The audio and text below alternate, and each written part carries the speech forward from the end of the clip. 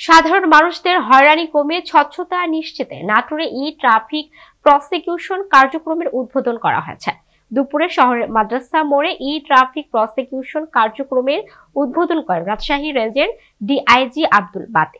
পরে নাটোর জেলা police super Liton Kumar সাহার সভাপতিত্বে সংক্ষিপ্ত সভায় বক্তব্য দেন রাজশাহী রেঞ্জের ডিআইজি।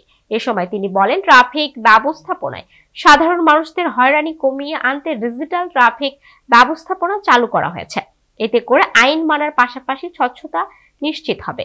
ইউসিবিএল ব্যাংকের যে কোনো বুথ বা মোবাইলে শিওর ক্যাশের মাধ্যমে টাকা জমা দিয়ে স্পট থেকে কাগজপত্র নিতে পারবেন সাধারণ মানুষরা। টাকা দিয়ে রেভিনিউ ইনকাম সরকারের কর্মচারী অনুধার যে মাননীয়